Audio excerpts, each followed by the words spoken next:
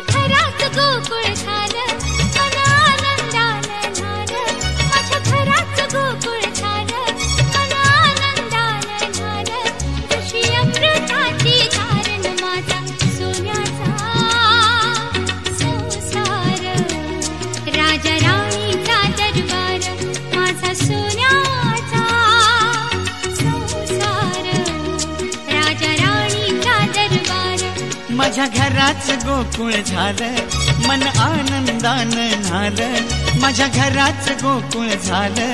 मन आनंदान झालं जशी अमृताची धारण माझा सोन्याचा